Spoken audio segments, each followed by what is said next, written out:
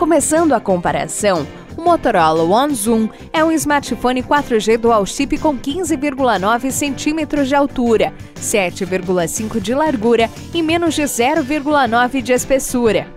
Por sua vez, o Asus Zenfone Zoom S também é um aparelho 4G dual chip, mas com 15,3 centímetros de altura, 7,6 de largura e menos de 0,8 de espessura.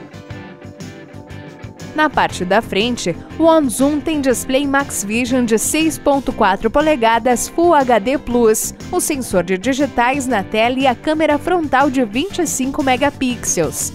Já na parte da frente do Zenfone Zoom S, temos display de 5.5 polegadas Full HD e a câmera frontal de 13 megapixels.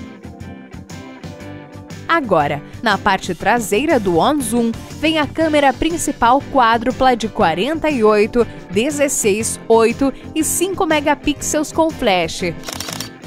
Enquanto isso, a parte traseira do Zenfone Zoom S traz o sensor de digitais e a câmera principal dupla de 12 megapixels com flash.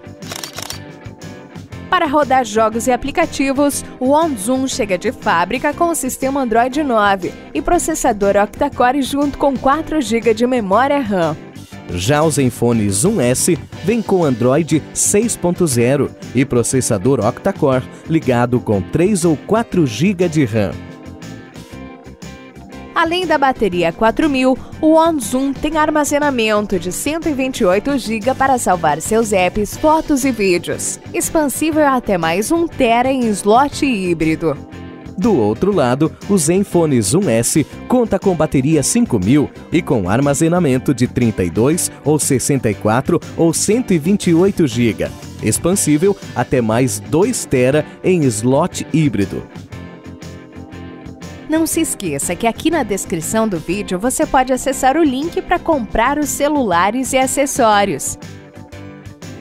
E para terminar, os destaques finais do OnZoom são o desbloqueio por reconhecimento facial, as câmeras com inteligência artificial e estabilização óptica e o zoom óptico de três vezes. E os destaques finais do Zenfone Zoom S são a possibilidade de recarregar outros aparelhos e o zoom óptico real de 2,3 vezes.